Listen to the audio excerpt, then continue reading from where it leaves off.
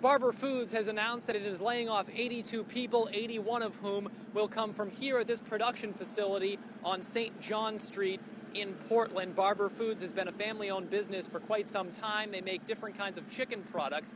Recently, Barber was sold to a company out of the Midwest, but the CEO of Barber Foods told me today that these layoffs are not a direct result of the company being purchased by that Midwestern company. Instead, he said these were efficiencies that were planned for months ahead of time to make Barber more competitive, and more layoffs will likely come. Some administrative layoffs will come because of the purchase by that Midwestern company. But he said as they continue to make their company more efficient, likely more layoffs would come as well, but he had no timeline for that. In Portland, Keith Baldi, News 8.